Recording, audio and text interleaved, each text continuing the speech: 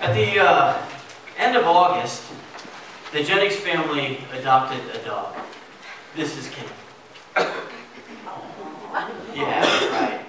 Um, and you might see him running around in the backyard sometime. And you know what? He's a good dog. He's a good dog. But I got to tell you, the first month has not been without its challenges. I mean, he's shown us the weak spots in the fence. He's reminded us not to leave food on the counter or the table or any place. Uh, but he's a good dog, and uh, he's doing a good job of training us. And uh, we're trying to train him too. You know, all the training advice says that the human needs to be the dominant one. You got to be firm, you got to be consistent, you got to do what you say you're going to do. It's a slow process because uh, he is used to being a certain way, and it's hard to change what he has been used to, right? Um, funny thing, that works for us too, doesn't it?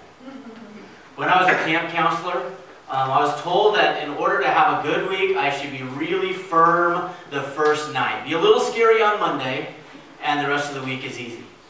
And I've heard teachers say that the key to a good year is to never smile before December. Which makes me think, time the Israelites mess up, um, God should come down on them pretty hard. God gave them the commandments, which we covered last week.